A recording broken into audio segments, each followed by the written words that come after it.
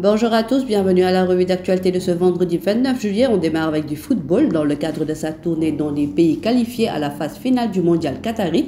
Le trophée de la Coupe du monde du football sera au Sénégal les 6 et 7 août prochains au Grand Théâtre et pourra être approché par les autorités et les populations sénégalaises. Cette tournée qui a débuté par Dubaï sera une occasion pour les populations de se rapprocher du prestigieux objet qu'accompagneront les anciennes vedettes du football, notamment le Brésilien Kaka, champion du monde en 2022 et l'Espagnol Iker Casillas qui l'a remporté en 2010. Les deux anciens champions du monde feront le déplacement pour accompagner l'original de la célèbre statuette à quelques mois de la compétition. Alors que le mercato estival bat son plein, plusieurs joueurs internationaux sénégalais en fin de contrat cet été n'ont pas encore trouvé une nouvelle destination. Parmi les plus en vue, Salucis, l'arrière latéral gauche est libre depuis son départ de l'AS Nancy Lorraine. Pourtant, il ne manque pas de prétendants dans le marché. D'après les informations de Foot Mercato, l'OM suivrait de très près la situation du champion d'Afrique, mais aucune discussion n'a encore été avancée entre l'entourage du joueur et le club phocéen. Dans le même temps, des clubs turcs, dont certains qui jouent en Coupe d'Europe cette saison, aimeraient s'offrir le joueur de 32 ans. La même source ajoute que Salucis veut prendre son temps pour sa décision finale et espère évoluer cette saison dans l'un des cinq grands championnats européens.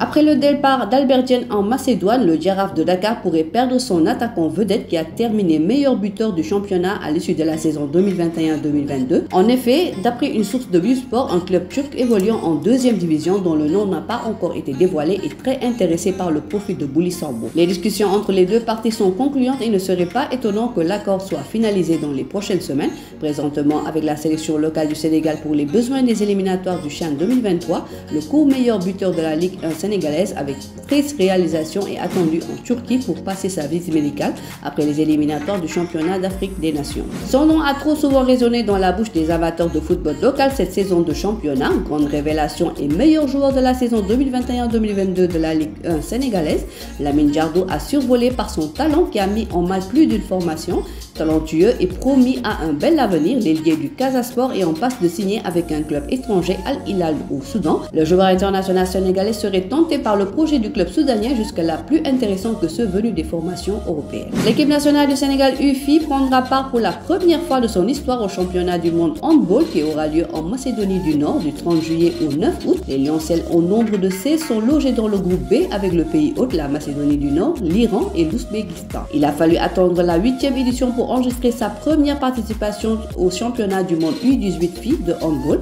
La sélection nationale dirigée par Chérif Fall essayera de marquer les esprits par son baptême de feu. Actuellement en regroupement à Thiès, les Lionciels vont rallier la Macédonie du Nord ce vendredi soir. Elles feront leur entrée en liste samedi contre le pays hôte. Elle affrontera ensuite l'Iran le 31 juillet et l'Ouzbékistan le 2 août lors des deuxième et troisième journées de la poule B. Voilà, c'est tout pour aujourd'hui. L'actualité sportive continue sur nos plateformes digitales. On se donne rendez-vous la semaine prochaine pour d'autres actualités le site numéro 1 du sport au Sénégal, sport.com, est maintenant disponible en version application mobile sur iOS et Android.